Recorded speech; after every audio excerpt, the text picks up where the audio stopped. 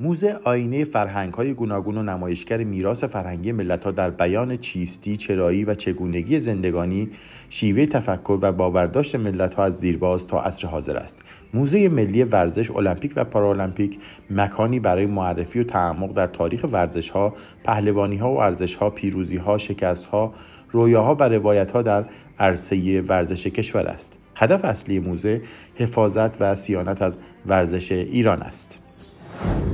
این موزه شامل سه طبقه به مساحت 2500 متر است که 500 متر مربع این فضا شامل فضای ورودی در طبقه همکف و 2000 متر مربع آن در دو طبقه هر طبقه هزار متر مربع برای نمایش اشیا و افتخارات و خاطرات و معرفی تاریخ ورزش ایران و تاریخ المپیک و پارالمپیک پیش بینی شده است.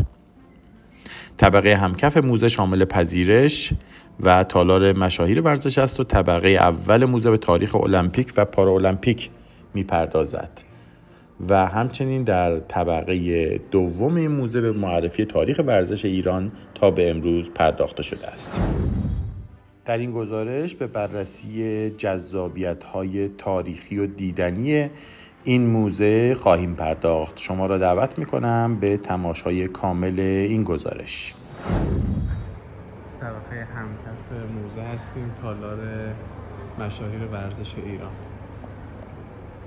اولین سردیسی که مشاهده می‌کنیم سردیس آقای جعفر سلماسی است که نشان برونز وزن برداری رو در المپیک 1948 لندن واسه ایران گرفتن آقای 1952 هلسینکی واسه ایران مدال گرفتن. آقای ملا قاسم تبریزی مدال برنز کشتی آزاد گرفتن. آقای علی میرزایی مدال برنز وزن برداری هلسینکی رو گرفتن. آقای عبدالله مشرفی هستن. دارنده نشان برنز المپیک. این هم همون مدال باباییه نه اینا مدالاشون نیستن. یه سری هدایا و شیلد و بجایی که خودشون داشتن یا خانواده‌شون اهدا کردن به موسی در ادامه کار مدالایی که اهدا کردن رو می‌بینیم خانواده مینوی برنسید آقای گیوشی کشتی آزاد مدال نقره هلسینکی رو گرفتن. آقای توفیق جهانبخش برونز کشتی آزاد هلسینکی. آقای خجسته پور 1956 وینگو و آقای یعقوبی مدال نقره کشتی آزاد. کفش ها متعلق به خودشون که اهدا کردن به موزه. امام علی حبیبی اولین طلا رو واسه ایران توی المپیک 1956 ملبورن می‌گیره. آقای محمد پذیرا کشتی فرنگی 1960 مدال برنز می‌گیره. آقای جلایر باز کشتی وزن برداری 1960 رو آقای علمخواه نشان برنز وزن برداری 1960 آقای سیفپور 1960 مدال برنز کشتی و مدالی که گردنشون هست مدال طلای بازی‌های جهانی هست. آقای صنعتکاران 1964 توکیو کشتی آزاد مدال برنز می‌گیرن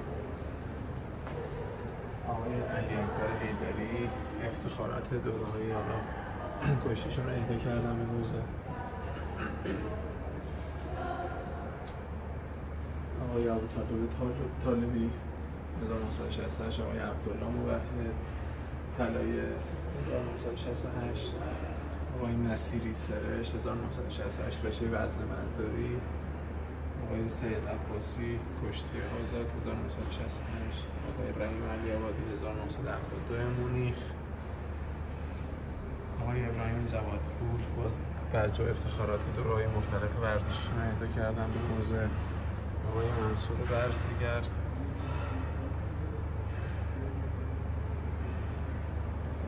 و آقای اسکری محمدیان که مدال نقره بازی های المپیک 1992 بارسلوناشون اهدا کردن به موزه اصل خود مدال بارسلوناشون هست که گردنشون هست.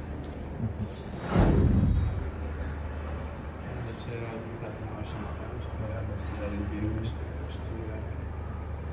آقای دبیر 2000 سیدنی نشان طلا گرفتن. آقای رضازاده 2000 سیدنی باز طلای وزن برداری گرفتن.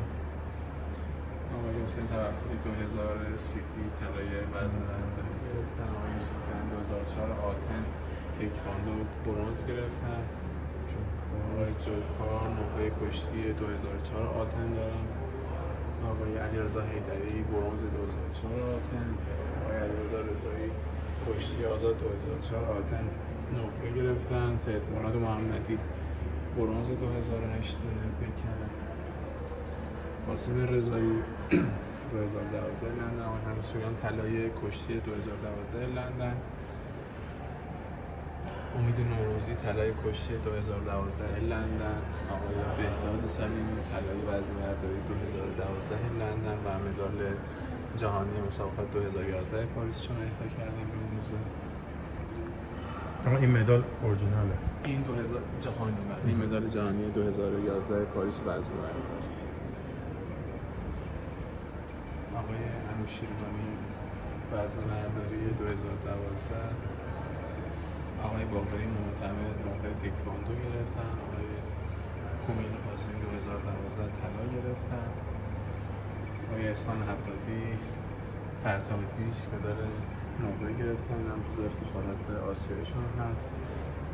صادق گودرزی کشتی آزاد نقره 2012 گرفتن. آقای حسن رحیمی 2016 برونز کشتی آزاد دارم. آقای سهراب مهادی وزنه برداری نشان طلای 2016 آقای امیرحسین زارع 2020 توکیو آقای حسن یزدانی 2016 و باز 2020 توکیو مدال گرفتن.